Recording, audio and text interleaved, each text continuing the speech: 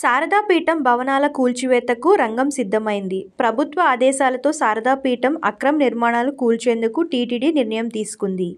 తిరుమలలో అక్రమ నిర్మాణాలు తొలగించాలని శారదాపీఠానికి టీటీడీ అధికారులు నోటీసులు జారీ చేయనున్నారు.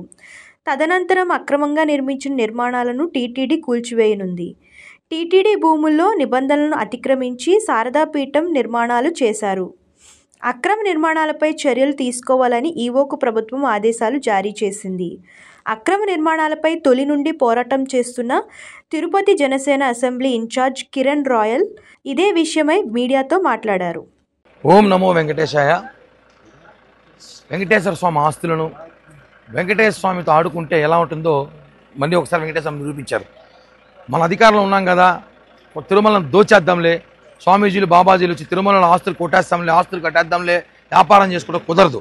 గత ప్రభుత్వంలో ఏదైతే జగన్మోహన్ రెడ్డి ఎవరైతే స్వరూపానంద స్వామికి దత్తపుత్రులు ఉన్నాడో ఆయన విచ్చలవిడిగా ఇచ్చాడు. అక్రమ కట్టడాలు అన్ని మఠాలు ఒకలాగా ఉంటే ఈయన మాత్రం ముందర నాలుగు అంతస్తులు వెనకల ఐదు అంతస్తులు ఆ, వస్త్రం ఇష్టం వచ్చినట్టు కట్టుకున్నాడు. ఇది కరెక్ట్ కాదు. భగవంతుడి రూపంలో ఏది చేసినా కూడా దొరికిపోతారు. నిన్న గురువారం రోజు సాక్షాత్ వెంకటేశ్వర స్వామి కళ్ళు తెరిచారండి. ఎందుకంటే ఈ అక్రమ కట్టడాలు కూల్చేయాలని చెప్పి ఇది అక్రమ కట్టడాలని చెప్పి ప్రభుత్వం మారిన వెంటనే జనసేన పార్టీ వచ్చి ఇక్కడ మేము ధర్నా చేసి ఈ విషయాన్ని అధిష్టాన దృష్టికి తీసుకెళ్ళాం.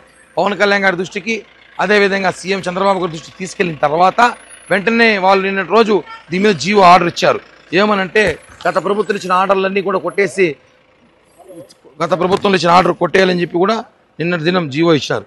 ఏమనంటే ఈ అది చల్లదు వీళ్ళు కట్టిన ఇరవై లక్షల రూపాయల డబ్బులు ఏదైతే ఉన్నాయో వెనక్కిచ్చేసి వెనక్కి ఇచ్చేసి ఇది అక్రమ కట్టడాలు కొట్టేస్తేనే ప్రభుత్వంలో ఏదైతే విశాఖ శారదాపేట ఆస్తులు ఉన్నాయో అవన్నీ కూడా కొట్టేయాలని చెప్పించారు ఎందుకంటే వందల కోట్లు సంబంధించిన ఆస్తులు కొట్టేశాడు.